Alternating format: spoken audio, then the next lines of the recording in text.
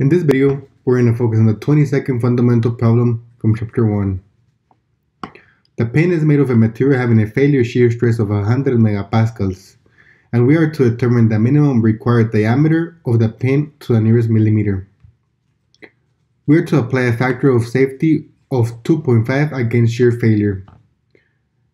The first thing you should do in this type of problems is show all the forces acting on the member. You can clearly see an 80 kilonewton force acting on the X component right here.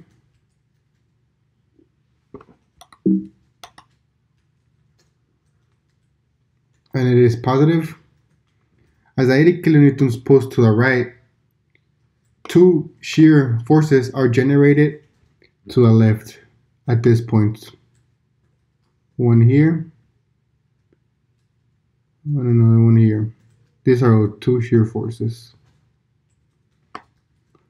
Now we apply the equations of equilibrium. In this case, we only have the sum of forces in the x direction.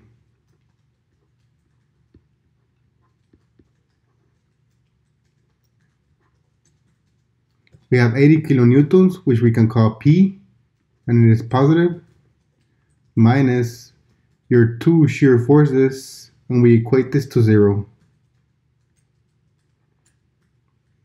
We substitute for P, which is 80 kilonewtons,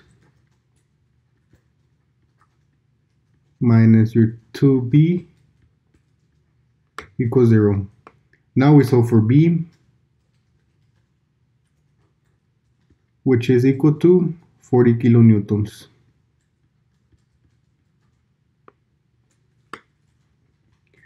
Now we apply the equation of shear allow, which is given by shear allow equals your shear fail divided by your factor of safety.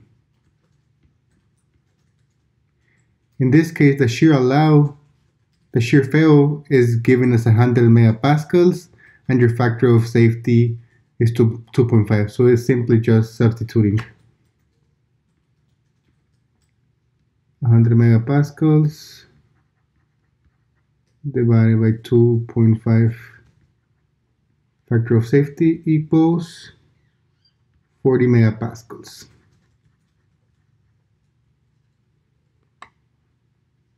Now from this equation, we calculate the allowable shear stress, which is given by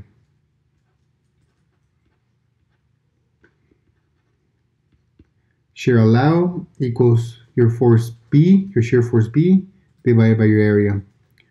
In the previous, we calculated your shear allow, which is 40 megapascals. So we can directly substitute 40 megapascals into this equation.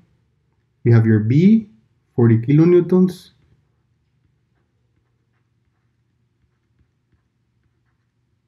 And your area is simply pi over 4 times the diameter squared. Let me rewrite this for clarity. For unit homogeneity, we convert everything to Pascal.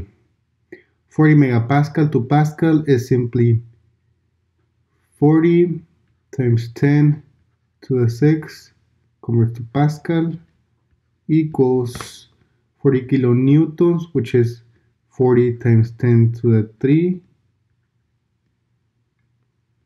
Pascal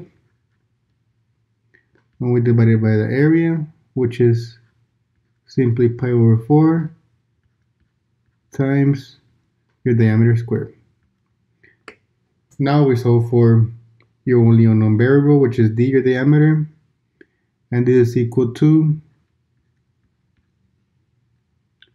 0 0.036 meters or 36 I mean 35.6 millimeters.